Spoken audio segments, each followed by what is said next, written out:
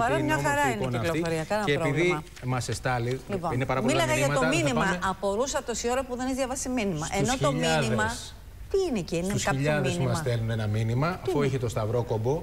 Εγώ Ναι. το ακροάστηκα πριν το παραλάβω, γιατί καμιά φορά δεν ξέρεις τι γίνεται. Είσαι εσύ, το έχεις εξετάσει κανονικά; Ναι, παιδί. Δεν υπάρχει κίνδυνος. Τον έλυσα το σταυρόκομπο Ναι. και επειδή είναι οι φίλοι μας οι οποίοι δεν λένε, πράττουν, Ναι. και εδώ λέει. Τι λέει. Φόρεσε το και διέδωσε την ιδέα. Μπράβο.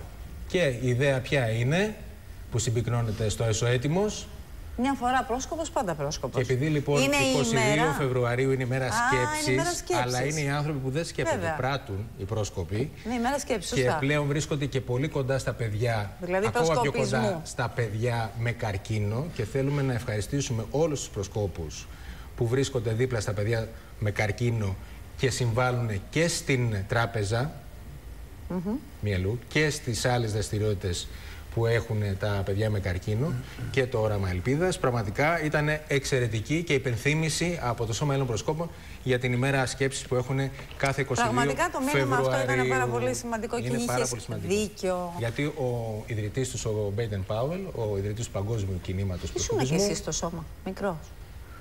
Μικρός και μεγάλος. Μικρός και μεγάλος. Μικρός και μεγάλος. λοιπόν, Λοιπόν, ε, εί- σιγά είχε τα σιγά μας γενέθλιά του. περιμένουν Πάμε. υπομονετικά και οι Φόφη Γιωτάκη συνάδελφοι είναι κοντά εδώ. μας. Καλημέρα, Έλα, Φόφη, καλημέρα. καλημέρα. Γιωτάκη και προ...